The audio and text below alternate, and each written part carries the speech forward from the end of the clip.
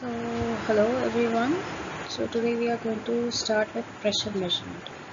We will understand in this presentation what are the uh, main types of pressure measuring devices that are used in the industry in industries like power, oil and gas and uh, process industries, other process industries and the principle basic principle of operation and some examples at the end. So let's move ahead. Pressure measurement is a vital part of industrial operations. Like other industrial parameter measurements like temperature, etc. Pressure is first of all used in other measurement systems like flow, level, speed. And it is one of the best and quick indication of work done by pumps and compressors, etc. We need to understand that why pressure is a vital uh, parameter to be measured because the pressure these uh, pressure in measurements uh, work as inputs to the control systems. And the control systems in most of the process plants are uh, really important for the protection systems to work uh, properly and hence to avoid any mishaps or any incidents. So the next point is moving on. The uh, in pressure measurement we generally have a reference point so the first reference point is absolute zero, that a condition exists in perfect vacuum. And any pressure that is measured with reference to absolute zero is absolute pressure. The other reference point is the atmospheric pressure that we all know. And this value changes according to altitude and weather conditions. And the pressure that is measured above this atmospheric pressure is known as the gauge pressure. So now we will move on to the types of pressure measuring devices we have broadly classified this into two categories. One is mechanical pressure measurement, another is electronic pressure measurement. So the mechanical pressure measurement are mostly the types of bourdon gauge, diaphragm sensor, bellow gauge, manometer. So these are basically the sensors. And the electronic pressure measurement uh, includes the other transducer systems like strain gauge, piezoelectric transducer, piezoresistive transducer, which convert one form of energy to an electrical form of energy. So we will go through all these types in the subsequent slides and now the factors that we need to keep in mind while selecting a pressure sensor uh, for a process uh, application are the viscosity of the fluid of application. It is very very important because the, on basis of the type of the fluid in the application, the selection of the pressure measurement device may change. And the range of pressure obviously and the accuracy desired because the more accurate the instrument the cost factor is also come, uh, come into play. So that is also required. And the temperature etc of the environment of the fluid basically. So we start with mechanical pressure measurement. Principle of operation now, how do mechanical pressure sensors work is a very simple principle. It just translates a pressure into physical motion and that is proportional to the measure applied. The mechanical motion produces either a dial indication like in cases of gauges or a standard electronic signal in case of transmitters. So the uh, most commonly used uh, type of mechanical pressure measurement sensor is a Bourdon tube. As you can see in this figure, there is a circular shaped tip okay? And there is this pressure point from where the pressure is applied. So the tip of the tube moves as the pressure is applied from this point. And this motion displacement is then converted into a pointer arrangement through this pinion and sector gear. And the pointer rotates on a scale that is calibrated according to the movement of the Bourdon tube. The Bourdon tube gauges are the most commonly used measuring devices as I have already mentioned in any process plant. The points to remember are that it is since it is the most commonly used uh, mechanism, it is also inexpensive. It has a wide operating range. You can find Bourdon tube gauges for different ranges and they are gauges as usual are mostly for indication purpose only. So we will move on to the next then next point is the diaphragms. So how do diaphragms work? Diaphragm as we all know in our common day-to-day -day language is a flexible membrane or disc sort of a device which is either flat or with concentric corrugation corrugated sheets. So when a pressure is applied they uh, it causes the diaphragm to flex. Okay and then this is translated to a pointer or any switching application where the pressure causes a displacement that is proportional and which is applied to a set of switch contacts so now you see in this arrangement the pressure is applied from here the membrane def, uh, deflects and then this motion is connected either on a pointer or it is used for a switch application. Points to remember here suitable to measure gauge pressure, absolute pressure, differential pressure. It has a high operating range, high repeatability and can be used for aggressive materials. So that is important here. Other one is bellows. So what are bellows? Bellows are another elastic element type of pressure sensor that operate on the same principle as the diaphragm sensors. Why? Because when we apply pressure, the bellow expands. So once this expands, the movement is then transferred into either a gauge or into a, a switch as we have discussed previously. So one end of the bellow is fixed and the other end is allowed to move as we understand from this arrangement in response to the pressure from the side okay so the points to remember here are it is also suitable for absolute and differential pressures cannot measure high pressure and has to be replaced when damaged. So this since there are multiple layers of uh, bellows so and these folds are uh, important to allow the expansion and the displacement movement. But when if any of the folds get any damage then this entire system needs to be replaced and it cannot be repaired like that. Next comes the U-tube manometer. So although there are different types of manometers like inclined tube manometer as well so but we will cover only the U-tube manometer which is the basic first basic type of manometer. So what is a manometer? How does a manometer work? It works on the principle of hydrostatic equilibrium and is used to measure static pressure okay exerted by still liquid or gas not moving or flowing. That is important to understand. Manometer is an u-shaped tube filled with an incompressible fluid mostly mercury or water.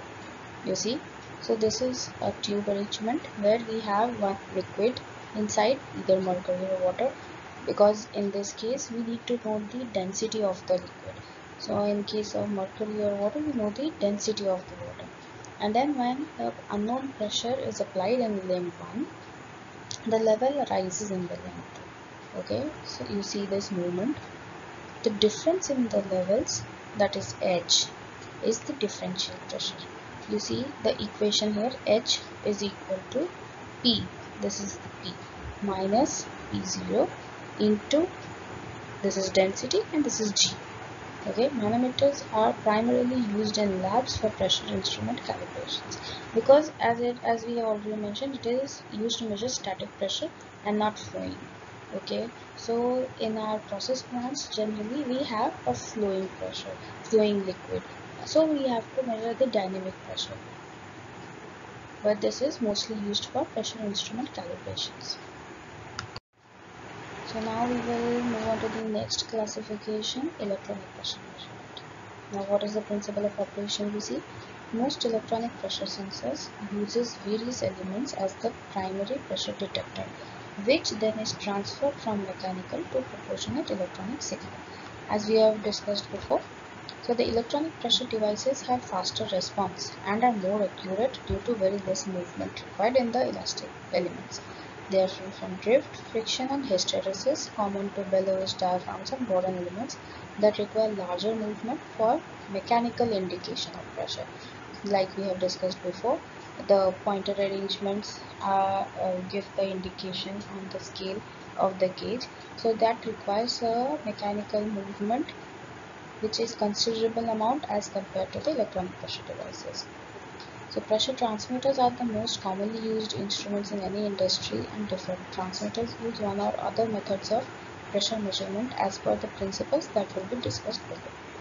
Okay, so first comes the strain gauge pressure sensor. A strain gauge is a sensor whose resistance varies with applied pressure.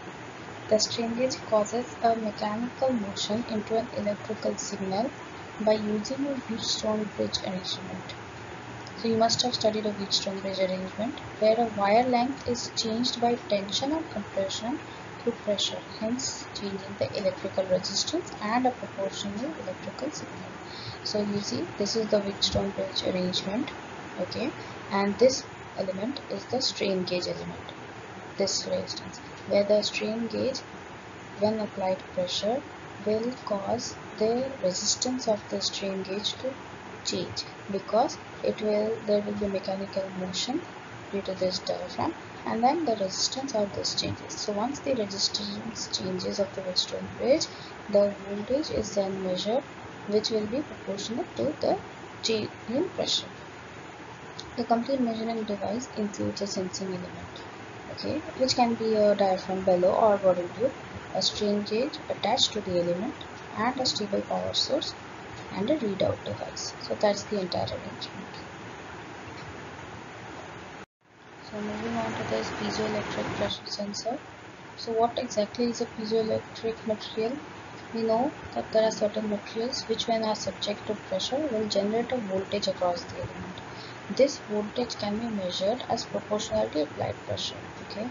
So piezoelectric sensors Uh, exploit this effect and are widely used in industrial applications.